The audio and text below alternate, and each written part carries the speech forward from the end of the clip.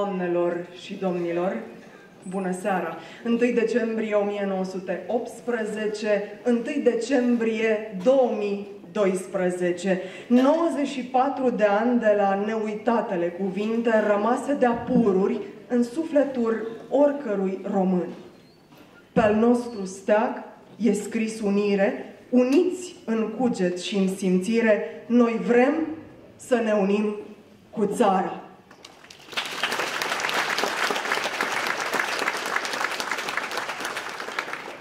A intrat în tradiția Asociației Culturale și de Prietenie Eghiut împreună și a primăriei sectorului 2 să sărbătorească la rang de mare cinste Ziua Națională a României, ziua de 1 decembrie. Mulțumim gazdelor noastre, Centrul Cultural al Ministerului Administrației și Internelor.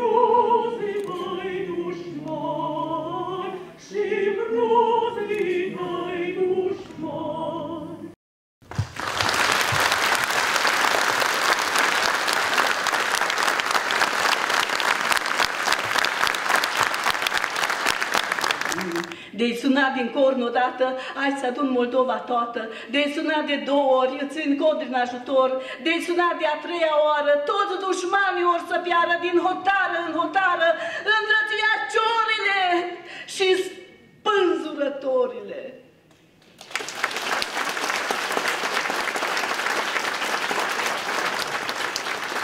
Stimat auditoriu, dragi prieteni, în numele organizatorilor programului nostru festiv, al primăriei sectorului 2 București, al Asociației Culturale și de Prietenie Educ împreună, precum și al revistei noastre culturale bilingve română-maghiară, Educ împreună, vă salut cu drag pe toți cei care ați răspuns invitației noastre și ați venit în această seară la acest program literar-artistic pentru a sărbători împreună, conform tradiției noastre, Ziua Națională a României, pentru a cinsti împreună apropiata zi de 1 decembrie, exprimându-ne respectul pentru memoria celor care în urma cu 94 de ani la Marea Adunare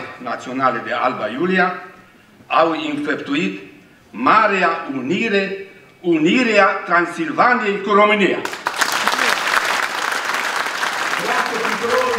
România!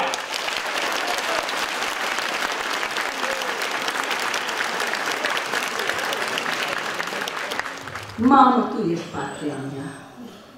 Creștetul tău, vârful muntelui acoperit de nea, ochii tăi, mări albastre, palmele tale, arăturile noastre, respirația ta nor din care curg ploi peste câmp și oraș, inelul din degetul tău cătare prin care o chesc în vrăjmaș, basmaua, steag zvâcnind ca inima, mamă, tu ești patria mea.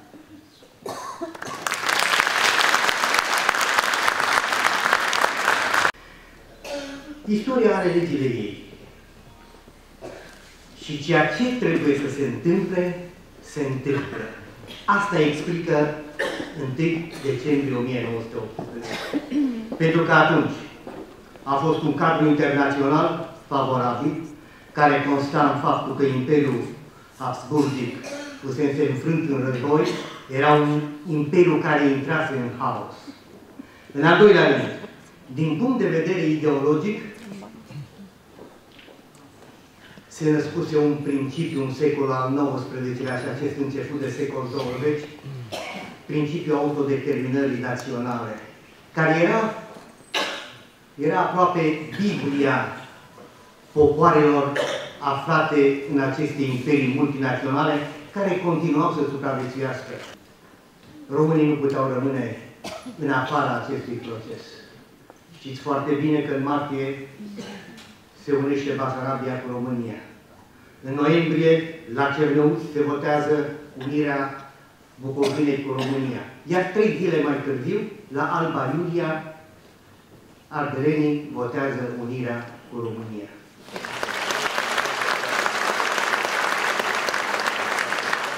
Durerea noastră surdă și amară o grămădit o singură vioară. Am luat cenușa morților din vatră și am făcut-o Dumnezeu de piatră. E lumea pardosită cu lumină ca o biserică de fum și de rășină. Deschid cartea și cu un fior lung cât istoria acestor pământuri, simt că este o carte a sufletului nostru românesc. Acum și în vecii vecilor. Și spune Adrian Păunescu, țară de veci, nepământesc de caldă, copiii noștri dacă în râu se scaldă și morții noștri în pământ se scaldă. Poetul național, Mihai Eminescu, spunea Viitorul și trecutul sunt a filei două fețe. Vede în capăt începutul cine știe să le învețe. Tot ce a fost, ori o să fie, în prezent, le avem pe toate. Dar de-a lor zădărnicie te întreabă și socoate. Ceea ce se petrece astăzi s-a petrecut de multe ori în timp. Dar când elementele sănătoase s-au arătat hotărâte, răul s-a făcut nevăzut de frică și de rușine, iar cei amăgiți s-au pocăit și s-au întors pe căile drepte. Și dacă noi, astăzi, vrem să scăpăm de relele cu care ne luptăm, trebuie să muncim și să ne arătăm potălăți. Pentru ca fiii noștri să nu cadă victimă jefuitorilor de țară, celor ce se trudesc să curme dezvoltarea noastră națională și să facă pe pământ românesc un stat cosmopolit. Nu mă refer la partidele politice. O țară care există de sute de ani nu are și mulțumi existența de la niște partide care sunt de ieri de alaltă. Lupta care urmează este pentru românitatea țării noastre. Toți românii, toți oamenii cum se cade, să ne dăm mâna să scăpăm țara de primește. În unire e puterea noastră. În unire e puterea noastră să ne grăbim, scria Mihai Eminescu la ziarul Timpul în anul de grație 1878.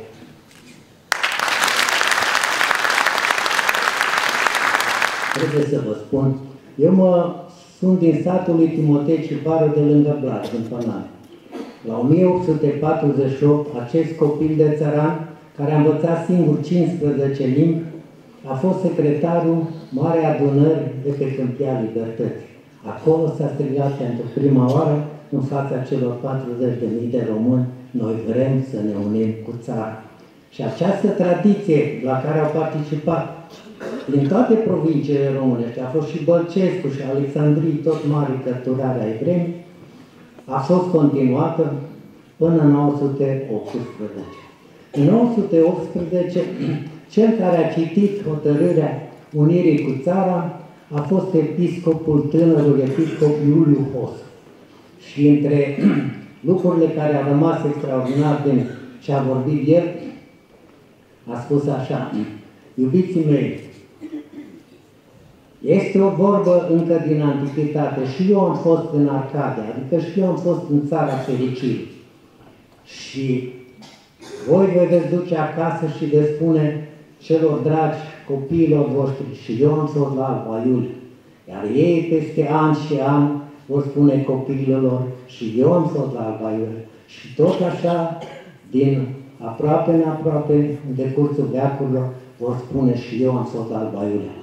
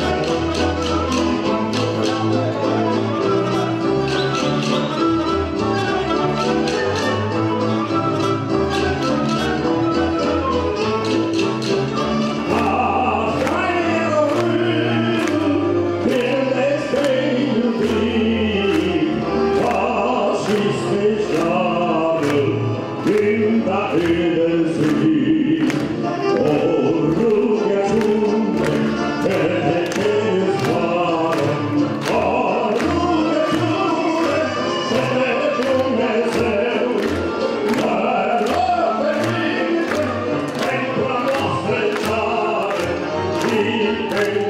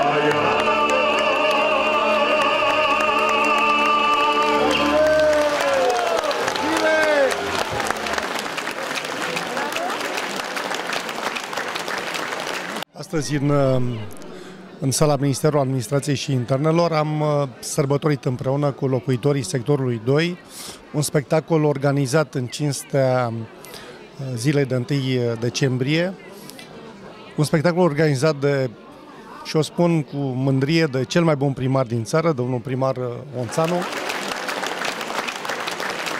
Astăzi am fost invitatul de onoare a domnului primar Nicolae Onțanu, aici la acest spectacol prelujit cu uh, sărbătoarea națională 1 decembrie 2012.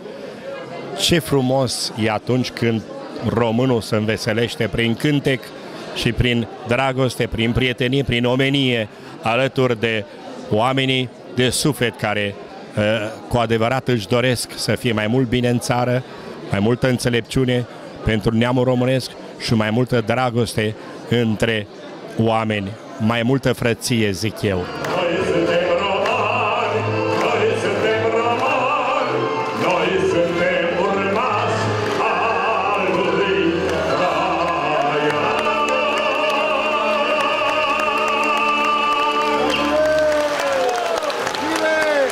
Am organizat în această seară o manifestare dedicată zilei de 1 decembrie.